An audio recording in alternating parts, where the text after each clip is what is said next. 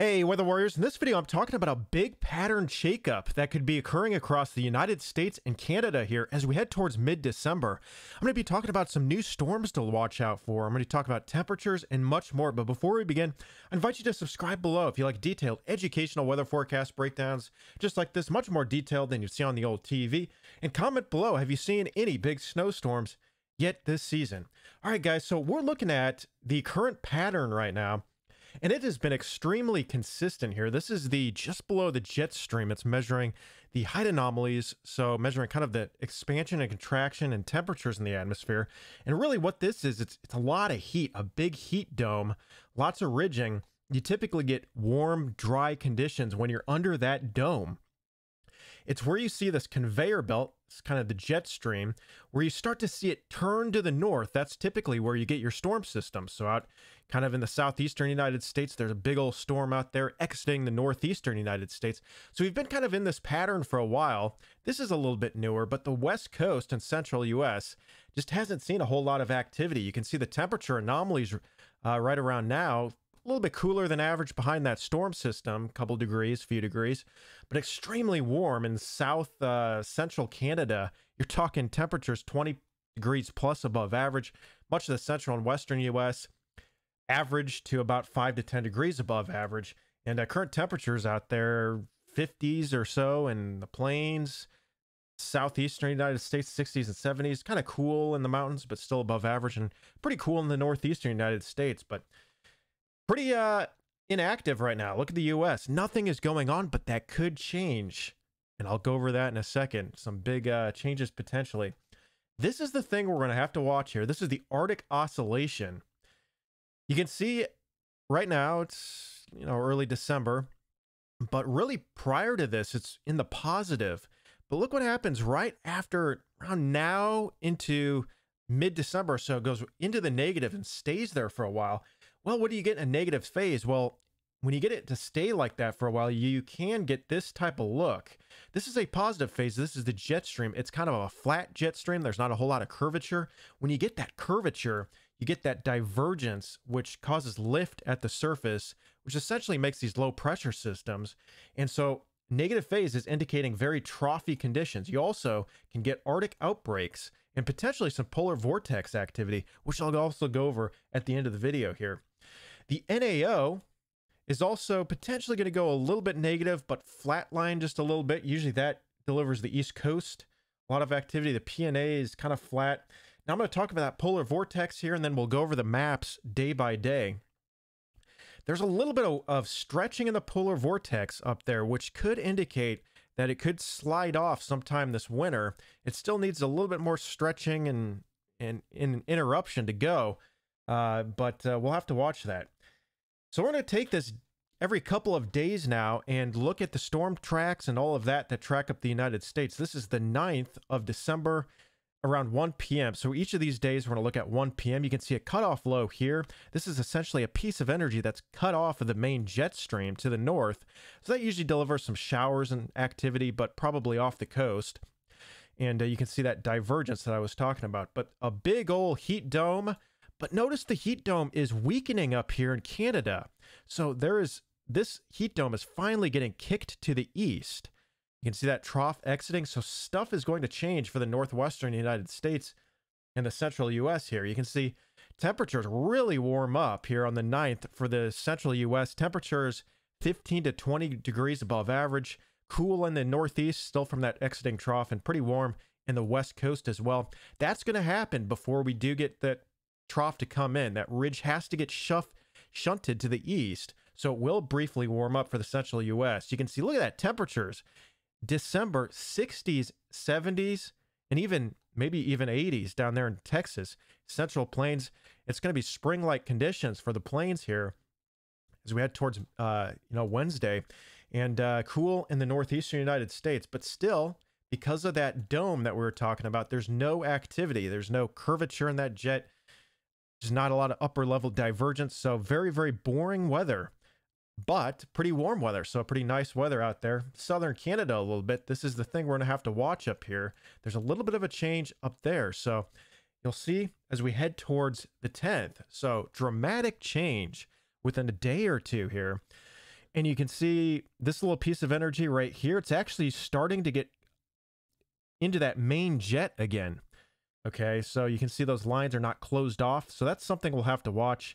This is the piece of energy we're really going to have to watch. So troughing now in the west coast, that's going to deliver some storm systems. And you can see that divergence I was talking about. Your coldest temperatures typically happen on the northwest side of these little waves. Even though it looks cold there, at the surface, it's actually cooler a little bit farther back. Lots of ridging out here. And again, your storm systems typically occur halfway between the ridge axis and the trough axis. So there could be one maybe up there somewhere, and then maybe another one out here. Maybe, maybe more like out there, actually. So we'll have to look at that real fast here on in a second, but we'll look at the temperature anomalies. You can see on the 10th here, 1 p.m., pretty warm, still a few degrees above average, but cooler than average to the northwestern United States. A few degrees, so that'll be a nice relief. Unless you're in the upper elevations, obviously it's cold, but you can see the temperature is a little bit cooler here, but not still pretty warm here. It's 60s, 70s for the southeast half of the United States. The Dakotas and north central US, it's a little bit cooler, 30s and 40s. Here's that storm system I was talking about. And yes, we do. We see a, a low here, and then one out here delivering precipitation. So southwestern United States, Arizona, New Mexico, that system we're going to have to watch as it moves east.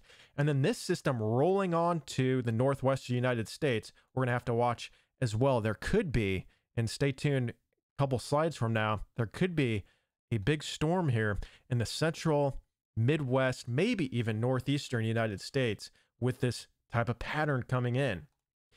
Here it is. You're talking about the 12th now at 1 p.m. Some ridging building back into the southwestern United States. Like I said, that area was going to have drier conditions in my winter forecast than average, and that's a classic looking pattern there.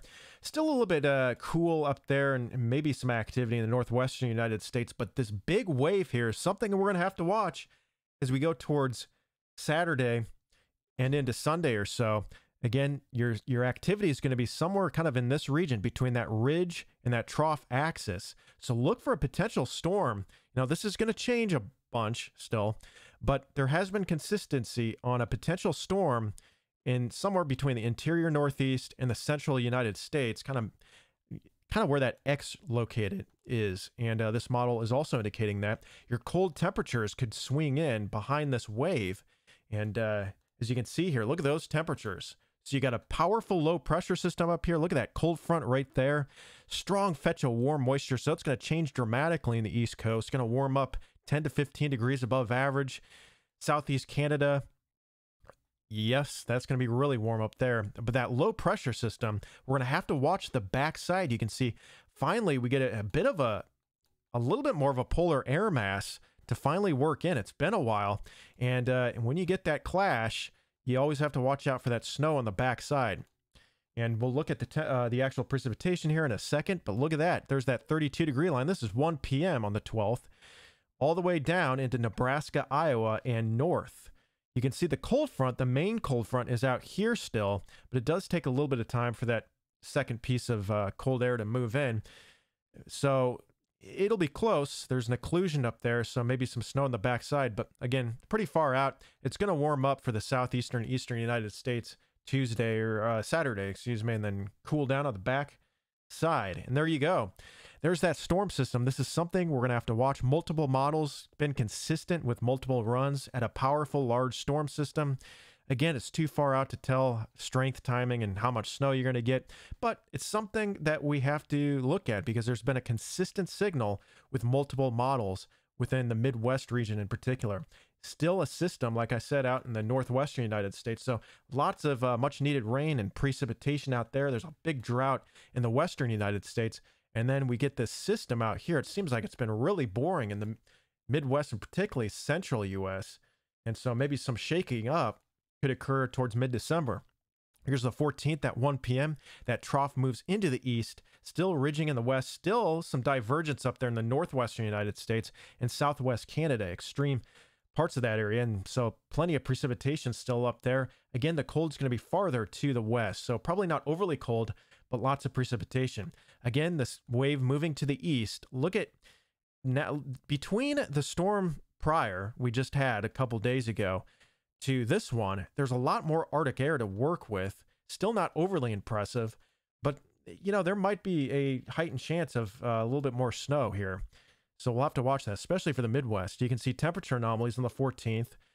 A few degrees below average now for the east half of the United States. West half, that ridge starts moving back in. But again, much different story where you get that precipitation instead of just doming in southwest and south central Canada. You can see temperatures in the northeast, up into Michigan, down into Illinois, Iowa, Nebraska, and into the northwestern United States, generally in the 30s and maybe even 20s, and uh, much warmer than that south of there. And, uh, you know, as these systems move to the east, sometimes they weaken, and that's being indicative on the, uh, on the European here. Some weakening snow showers as it moves east, but a big, powerful wave in southwest Canada, northwestern United States, Washington, Oregon. So that area is going to light up with activity. Now, again, it's too far out to tell about that Midwestern storm you know, it could be powerful in the Northeast, but right now I'm I'm thinking this is going to be with this type of pattern, it's going to be more of a Midwest type of event.